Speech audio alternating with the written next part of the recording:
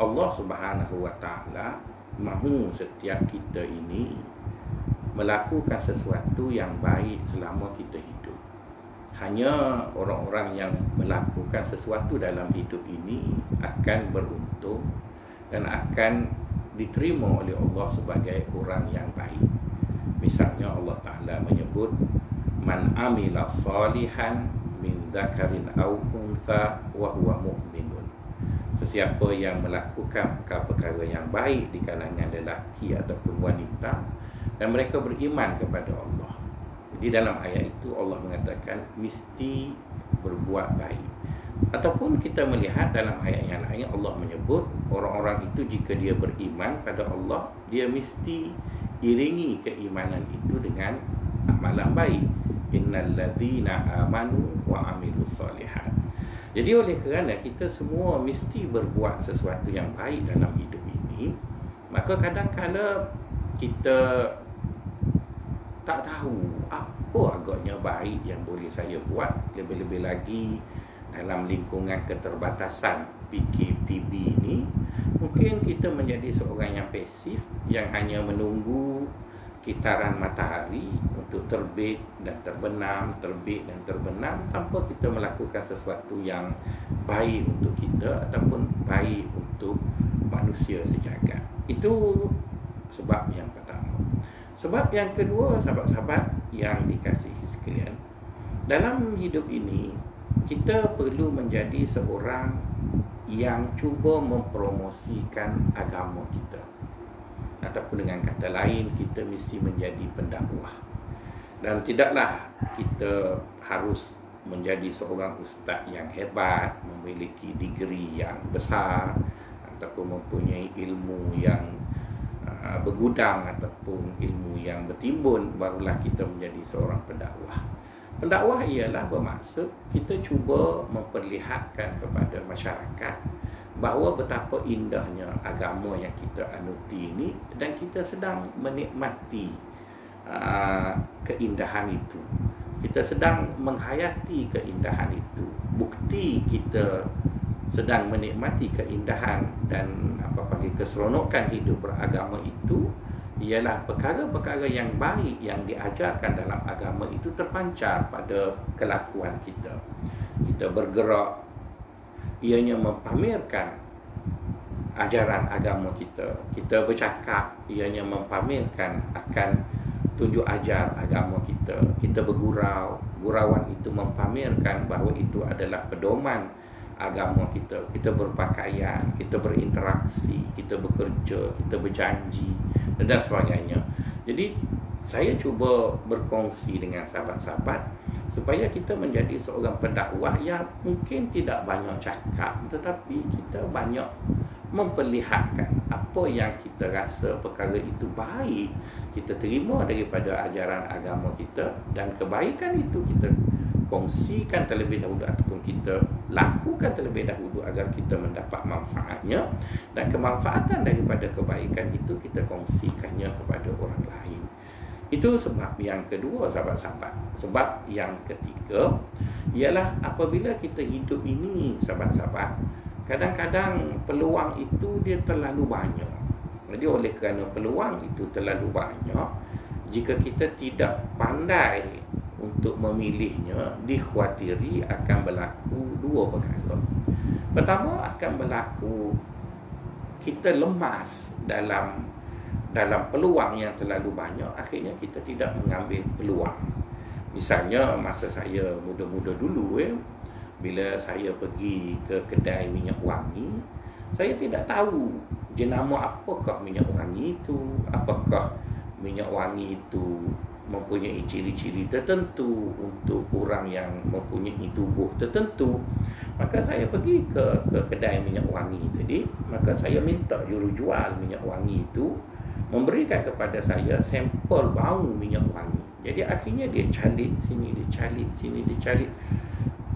Pada mereka awal saya dapat membezakan daripada satu jenis bau kepada satu jenis bau yang lain. Tapi apabila bau minyak wangi yang sekian banyak itu telah dicari pada saya akhirnya saya kebingungan tak tahu wangian manakah yang yang harus saya pilih untuk disepadankan dengan bau tubuh saya dan akhirnya menjadikan minyak wangi itu sesuai dan akhirnya bila saya duduk dengan orang saya akan di, di, di, dirasai selesa untuk berada bersama kawan-kawan. Dan akhirnya saya selalu silap beli dan bila saya bawa balik minyak wangi itu ke rumah dan bila saya pakai kawan-kawan satu rumah mengatakan bau kambing mana lah busuk dan, dan sebagainya. Jadi daripada peristiwa itu saya merasakan bahawa dalam hidup ini jika pilihan itu terlalu banyak maka ramai di kalangan kita bukan tidak tahu baik itu baliknya dia jadi keliru. Kebaikan yang macam manakah yang harus dia buat? Kebaikan yang macam manakah yang harus dia pilih dan sebagainya? Maka samalah juga ya. Kadang-kadang kita pergi ke restoran ya. Mungkin sekarang kita tak boleh pergi kita pergi ke restoran yang menggunakan pendekatan buffet makan hidang tadi. Kita lihat dekat restoran tu makanan terlalu banyak akhirnya kita mengambil satu makanan yang dirasakan tidak perlu pun untuk pergi ke restoran yang mahal sedangkan itu sahaja makanan yang kita mahu makannya. Jadi oleh kerana itu saya cuba membaca cuba sedikit membuat telaah dan berkongsi dengan sahabat-sahabat. Saya tidak ada harta untuk dikongsikan seperti Ustaz Ebik dan sebagainya tapi saya adalah sedikit pembacaan yang boleh saya kongsi dengan sahabat-sahabat. Jadi dengan sedikit apa yang ada itu bolehlah saya kongsi dengan sahabat-sahabat. Memberi sedikit panduan nanti sahabat-sahabat memulakan pagi ini uh, sampailah ke malam sahabat-sahabat ingin tidur maka adalah satu dua idea saya cetuskan pada sahabat-sahabat. Mungkin ianya sesuai mungkin ianya boleh diguna pakai maka sahabat-sahabat gunalah ia untuk jadikan kita sebagai seorang yang bermanfaat sahabat-sahabat yang dikasih sekalian semasa saya belajar di Al-Azhar dulu saya selalu ikut satu kelas selepas subuh ya dengan seorang syekh di Masjid Al-Husain. Beliau ada meminta saya menyenaraikan uh, 40 perkara yang ingin saya lakukan pada setiap hari. Jadi saya pun rasa ah itu satu tugasan yang yang mudahlah. 40 perkara yang yang saya perlu senaraikan dan saya akan cuba lakukannya setiap hari. Bila balik ke rumah selepas dua minggu saya masih belum mampu untuk melengkapkan senarai 40 tersebut lantas saya pun bertanya kepada syekh kenapa bilangan itu terlalu besar diminta dengan saya tak boleh ke? Saya senaraikan 10 ke ataupun dan sebagainya. Maka akhirnya guru saya tadi membacakan kepada saya sepotong hadis Nabi. Dan daripada hadis itulah saya merasakan ingin berkongsi dengan sahabat-sahabat. Makin banyak senarai kita ada maka kita mempunyai suatu pilihan yang begitu besar. Dengan pilihan yang begitu besar tadi kita berjanji dengan diri kita berjanji dengan Allah untuk kita lakukan selama kita hidup di dunia ini maka insya-Allah akan dipermudahkan kepada kita untuk melakukannya. Jadi jika sahabat-sahabat mempunyai senarai yang panjang kebaikan sahabat-sahabat ingin lakukan, maka sahabat-sahabat tidak begitu gersang untuk memilih baik apakah yang boleh sahabat-sahabat lakukan apabila sahabat-sahabat berada dalam masyarakat bersama dengan masyarakat baik di tempat kerja dan sebagainya. Hadis yang guru saya sebut masa saya belajar dulu hadisnya kalau tak silap saya dikeluarkan oleh Imam At-Tirmizi baginda sallallahu alaihi wasallam bersabda kata baginda arba'una khislatan a'laha manihatul inzi wa man addaha ibtigha amardatillah wa la yarju thawabaha illallah dakhala al-jannah hadis itu maksudnya 40 perkara. Yang pertama ialah meminjamkan biri-biri betina Kepada mereka yang memerlukan Sesiapa yang melakukannya kerana Allah Dan tidak mengharapkan balasan melainkan syurga Allah Pasti Allah Ta'ala akan masukkannya ke dalam syurga Jadi hadis itu sahabat-sahabat Ianya memberi faham kepada kita empat perkara Yang saya fahamlah ya Yang pertama, kebaikan itu kita mesti mempunyai satu senarai yang panjang. Baik apa yang kita nak buat. Dan senarai itu janganlah dibuat satu senarai yang complicated, yang yang sukar, yang besar. Sebaliknya jadikanlah dia senarai yang ringkas-ringkas tetapi ianya panjang.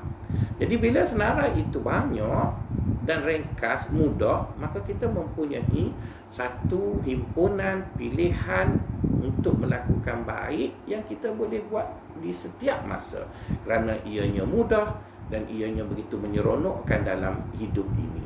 Itu yang pertama yang yang saya fahamlah ya daripada hadis itu. Yang kedua sahabat-sahabat yang dikasihi sekalian, baginda sallallahu alaihi wasallam menyarankan ataupun memberi contoh kepada kita, kebaikan yang kita buat itu tidak perlulah kebaikan yang besar. Malah kadang-kadang kebaikan itu tidak memerlukan kos sekalipun. Tapi pahalanya adalah begitu besar yang akan diganjari oleh Allah dalam contoh yang diberi oleh baginda itu ialah meminjamkan biri-biri betina di, di, di kalangan masyarakat Arab padang pasir. Dahulu mereka duduk di padang pasir mereka mengembala biri-biri.